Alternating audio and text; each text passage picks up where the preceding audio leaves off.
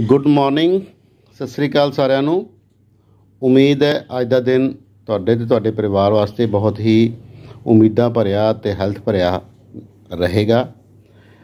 ਅੱਜ ਆਪਣੇ ਸਾਰੇ ਪੰਜਾਬ ਵਾਸੀਆਂ ਵਾਸਤੇ ਖਾਸ ਦਿਨ ਹੈ ਕਿ ਇੱਕ ਨਵੀਂ ਕਿਸਮ ਦੀ ਪਾਰਟੀ, ਇੱਕ ਨਵਾਂ ਤਰ੍ਹਾਂ ਦਾ ਅਨੁਭਵ ਲੈ ਕੇ ਸਾਡੇ ਵਾਸਤੇ ਆਏਗੀ। ਪੰਜਾਬ ਦੇ ਲੋਕ ਅੱਕ ਚੁੱਕੇ ਸੀਗੇ ਪੁਰਾਣੀਆਂ ਪਾਰਟੀਆਂ ਦੇ ਕੰਮ ਕਰਨ ਦੇ ਸਟਾਈਲ ਤੋਂ।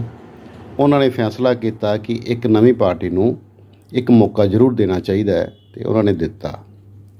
ਸੋ ਦੋਸਤੋ, ਅੱਜ ਵਰਲਡ ਕਿਡਨੀ ਡੇ ਵੀ ਹੈਗਾ ਹੈ ਤੇ ਮੈਂ ਤੁਹਾਨੂੰ ਵਰਲਡ ਕਿਡਨੀ ਡੇ ਤੇ ਕਿਡਨੀ ਬਾਰੇ ਆਪਾਂ ਕੁਝ ਡਿਸਕਸ ਕਰਾਂਗੇ। ਇੱਕ ਦੂਜੇ ਨਾਲ ਵਿਚਾਰ ਵਟਾਂਦਰਾ ਕਰਾਂਗੇ। ਕਿਡਨੀ ਰਾਜਮਾ ਦੇ ਸ਼ੇਪ ਦਾ ਇੱਕ ਆਰਗਨ ਹੈਗਾ ਤਕਰੀਬਨ 100 ਕੁ ਗ੍ਰਾਮ weight ਦਾ 100 ਤੋਂ 150 ਗ੍ਰਾਮ weight ਦਾ।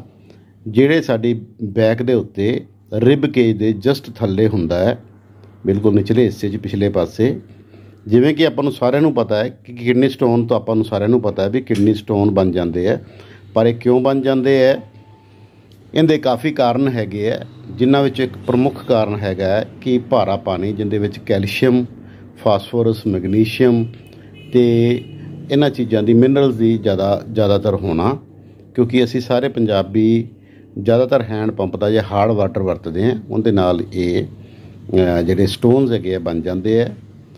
ਜਿਵੇਂ ਕਿ ਤੁਸੀਂ ਜਾਣਦੇ ਹੋ ਕਿਡਨੀਜ਼ ਜਿਹੜੀਆਂ ਬਹੁਤ ਸਾਰੇ ਐਕਸਕ੍ਰੀਟਰੀ ਫੰਕਸ਼ਨ ਕਰਦੇ ਆ, ਜਿਹੜੇ ਵਾਧੂ ਪਾਣੀ, ਵਾਧੂ ਮਿਨਰਲਸ ਵਾਧੂ ਵੇਸਟ ਪ੍ਰੋਡਕਟਸ ਪਿਸ਼ਾਬ ਰਾਹੀਂ ਆਪਣੀ ਬਾਡੀ ਚੋਂ ਬਾਹਰ ਕੱਢਦੇ ਆ ਤੇ ਇਹਦੇ ਬਿਨਾ ਜੀਣਾ ਦੁੱਭਰ ਹੋ ਜਾਂਦਾ ਹੈ। ਜੇ ਕਿਡਨੀਜ਼ ਨਾ ਹੋਣ ਤਾਂ, ਜਾਂ ਕਿਡਨੀ ਠੀਕ ਕੰਮ ਨਾ ਕਰਨ ਤਾਂ ਸਾਨੂੰ ਡਾਇਲਿਸਿਸ ਦੀ ਲੋੜ ਪੈਂਦੀ ਹੈ ਤੇ ਜ਼ਿੰਦਗੀ ਖਰਾਬ ਹੋ ਜਾਂਦੀ ਹੈ। ਤੁਸੀਂ ਵੱਧ ਤੋਂ ਵੱਧ ਪਾਣੀ ਪੀਓ, ਉਹਨਾਂ ਨਾਲ ਕਿਡਨੀ ਤੇ ਲੋਡ ਨਹੀਂ ਪੈਂਦਾ ਤੇ ਕਿਡਨੀਆਂ ਸਵਸਥ ਰਹਿੰਦੀਆਂ। ਧੰਨਵਾਦ।